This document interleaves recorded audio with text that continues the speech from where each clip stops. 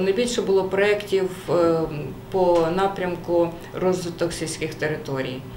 Е, Всі проекти мали відповідати п'яти напрямкам, тобто одному з п'яти напрямків, які затверджені в в постанові 827 і постанова по-моєму, 821 Кабінету міністрів. Це п'ять програм: це розвиток сільських територій, інноваційний розвиток, е, розвиток туризму, загальноукраїнська е, солідарність, розвиток людського потенціалу. Визначали, що це поганий проект, а це хороший проект. Визначали, чи він дійсно потрібен регіону, чи якісь певні території, чи місту, чи селу. Чи він дійсно розроблений в рамках того е, тих форматів, які завдані?